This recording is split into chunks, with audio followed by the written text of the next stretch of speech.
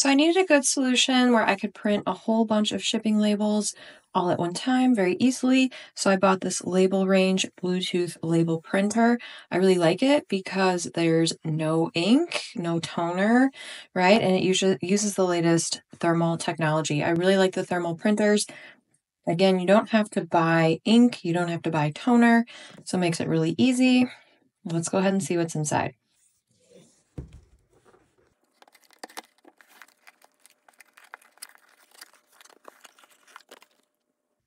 I love that this is the first thing I see. I know that if I have any questions or concerns, I can very easily reach out and get an answer.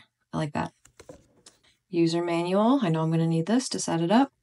Accessories, plug, even got some labels in there. Looks like everything we need. And here is the actual printer itself. Very nicely, securely packaged. And then it's got plastic wrap around it. First impressions, it's very light and compact. So I like that. Let's go ahead and set it up.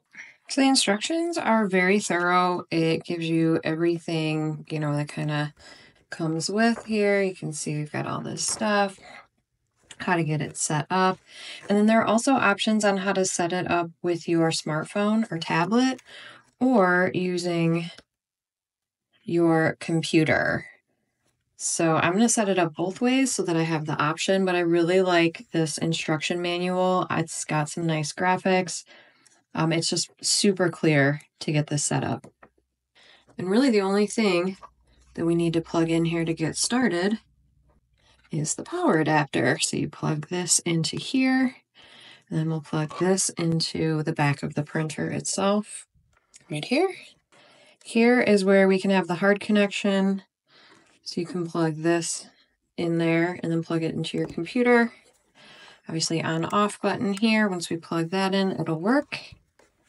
And then we'll go ahead and remove this protective film here so we can try it out. All right, so when loading the paper, you want to make sure that the side that says face down, right, is face down. So make sure that you do that.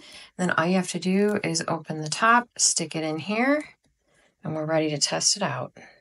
All right, so we've got the paper in, we've got it turned on. Let's go ahead and print a test.